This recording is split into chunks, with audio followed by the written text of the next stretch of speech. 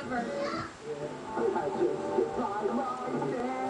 Sa Macau sa pa, napakita sa mga tinunan sa ICT sa University of San Carlos Calangman Campus na dili na sila Jay. mga high-tech kung dili may mga talent pa. Alang sa Campus Patrol, kini si Edward K. G. Capoy, ABS-CBN News. Sa kap